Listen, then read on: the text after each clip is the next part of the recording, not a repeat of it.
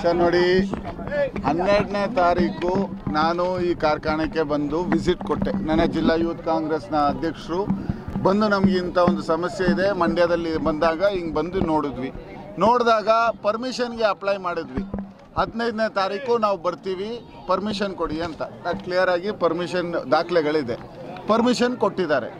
ಕೊಟ್ಟು ನೆಕ್ಸ್ಟ್ ದಿನ ನಮ್ಮ ಜಿಲ್ಲಾಧ್ಯಕ್ಷರು ಒಂದು ಪ್ರೆಸ್ ಕಾನ್ಫರೆನ್ಸ್ ಮಾಡಿದ್ರು. ನಾನು ಒಂದು ಪ್ರೆಸ್ ಕಾನ್ಫರೆನ್ಸ್ ಮಾಡಿದೆ. ನಮ್ಮ ನಾಯಕರಾದಂಥ ಡಿ ಕೆ ಶಿವಕುಮಾರ್ ಅವರ ಹುಟ್ಟುದಬ್ಬ.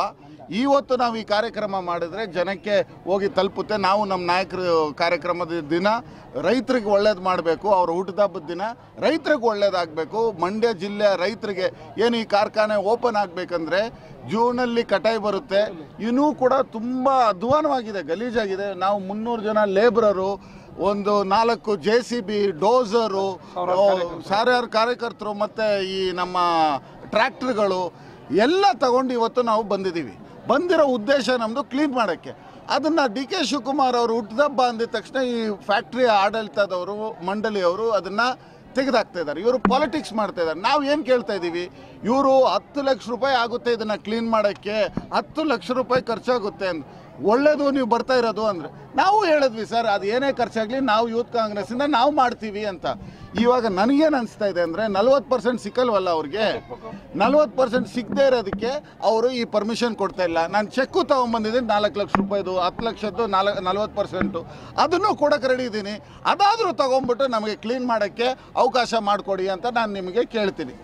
ನಮ್ಮ ರಿಕ್ವೆಸ್ಟ್ ಇಸ್ ವೆರಿ ಸಿಂಪಲ್ ನಾವು ಎಲ್ಲೂ ಕೂಡ ಪಾಲಿಟಿಕ್ಸ್ ಮಾಡ್ತಾ ಇಲ್ಲ. ನಾವು ಮಾಡ್ತಾ ಇರೋ ವಿಚಾರ ಕ್ಲೀನ್ ಮಾಡಬೇಕು, ರೈತರಿಗೆ ಒಳ್ಳೇದಾಗಬೇಕು. ಈ ಒಂದು ಫ್ಯಾಕ್ಟ್ರಿ ಓಪನ್ ಆದರೆ ಹತ್ತು ಸಾವಿರ ಜನಕ್ಕೆ ಡೈರೆಕ್ಟ್ ಇನ್ಕಮ್ ಡೈರೆಕ್ಟ್ ನೆರವಾಗುವಂಥ ಕಾರ್ಯಕ್ರಮ ಆಗುತ್ತೆ. ಡೈರೆಕ್ಟ್ ಯಾರಿಗೆ? ನಮ್ಮ ರೈತರಿಗೆ. ನಾವು ಹೋಗೇ ಹೋಗ್ತೀವಿ. ಏನು ಬಿಡದೇ ಇದ್ರೆ ಅಂದರೆ ನಾವು ಪ್ರಜಾಪ್ರಭುತ್ವದಲ್ಲಿ ಜೀವನ ಮಾಡ್ತಾ ಇರೋದು. ನಮ್ಮ ಹಕ್ಕು ಪರ್ಮಿಷನ್ ಲೆಟ್ರ್ ಇದೆ. ಇನ್ನು ನಮ್ಮನ್ನ ಬಿಡಲ್ಲ ಅಂದ್ರೆ ಮತ್ತೆ ನಾವು ಏನಕ್ಕೆ ಏನು ಏನು ತಪ್ಪು ಮಾಡಿದೀವಿ? ಕಾಂಗ್ರೆಸ್ ಪಕ್ಷದಲ್ಲಿರೋದು ತಪ್ಪ. Hundred percent.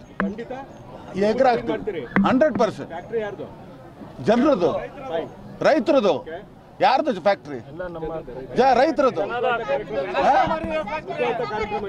ಎಸ್ ನಾವು ನೋಡಿ ಪೀಸ್ಫುಲ್ ಆಗಿ ನಾವು ಕೇಳ್ತಾ ಇದ್ದೀವಿ ನಾನು ಚೆಕ್ ಬುಕ್ ತೊಗೊಂಬಂದಿದ್ದೀನಿ ನಾಲ್ಕು ಲಕ್ಷ ಅವ್ರಿಗೆ ಕೊಡೋಕ್ಕೆ ನಮ್ಮ ಹತ್ರ ಕ್ಯಾಶ್ ಇಲ್ಲ ಬೇರೆ ಅಕೌಂಟಲ್ಲಿ ದುಡ್ಡಿರೋದು ಅದಕ್ಕೂ ಬೇಕಂದ್ರೆ ಏನಾದರೂ ವ್ಯವಸ್ಥೆ ಅವರೇ ಹೇಳ್ಕೊಟ್ರೆ ಅದು ಮಾಡ್ತೀವಿ. ಬಟ್ ಒಟ್ಟಿನಲ್ಲಿ ನಲ್ವತ್ತು ಪರ್ಸೆಂಟ್ ಕೊಡೋಕ್ಕೂ ತಯಾರು ಕ್ಲೀನ್ ಮಾಡೋಕ್ಕೆ ಮಾತ್ರ ನಾವು ಬಂದಿದ್ದೀವಿ ಹಿಂದೆ ಹೋಗೋ ಪರಿಸ್ಥಿತಿನೇ ಇಲ್ಲ. ಫ್ಯಾಕ್ಟ್ರಿ ಅವ್ರಿಗೆ.